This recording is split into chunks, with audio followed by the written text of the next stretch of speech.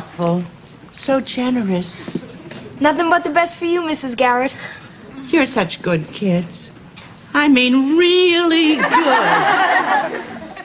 No, we're not. Mrs. Garrett, we're rotten. The lowest. Hey, come on, you don't have to say Jo, anything. I can't stand it anymore. She's gotta know. No, what? Mrs. Garrett, we didn't buy that blouse. We stole it. You stole it?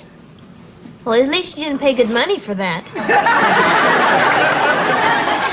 wait a minute, wait a minute.